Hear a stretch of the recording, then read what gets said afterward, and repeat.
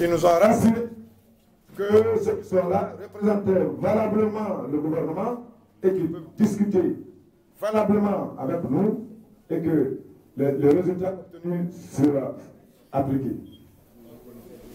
Ils nous l'ont dit, ils nous l'ont confirmé tout le long du processus. Aujourd'hui, nous sommes en face d'une situation. Nous avons dit, nos 8 millions, il faut qu'on les paye. D'abord, les 40%. Vous savez les conditions dans lesquelles nous les avons obtenus. Tout le monde le sait. Les obstacles que nous avons eu à surmonter. Et l'appui que nous avons eu grâce aux parents d'élèves, grâce à la population, nous avons obtenu les 40%. Grâce surtout à la population. Et les élèves. Les parents ont réclamé le retour de leurs enfants en classe. Ils sont sortis jusque devant la présidence. Les femmes. Vous savez, tout le monde a, suivi ce qui s'est passé à Galoum. Surtout les derniers jours. Le mardi. Le lundi. Le lundi. Tout le monde a suivi ce qui s'est passé là-bas. N'eût été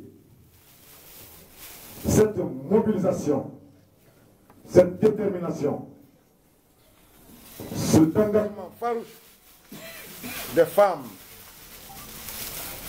en particulier et des populations de Conakry en général, en général,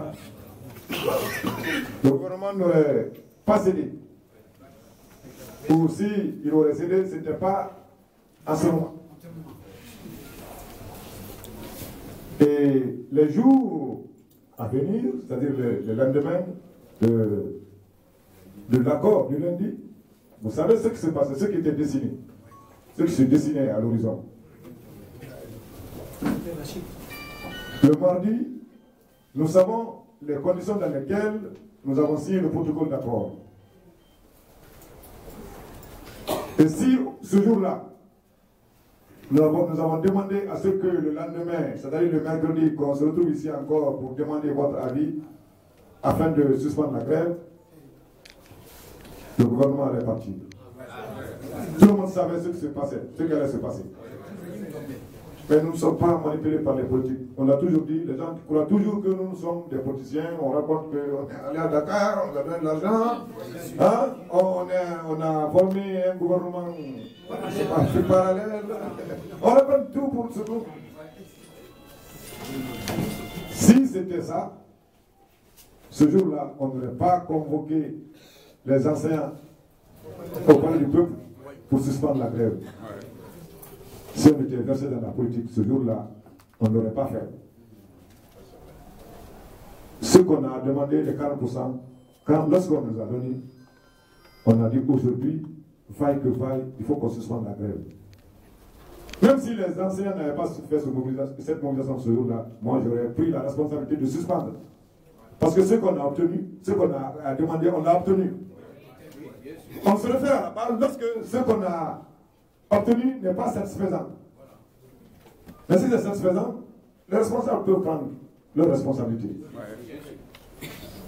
Donc ce jour-là, je pourrais dire accepter de suspendre la grève sans.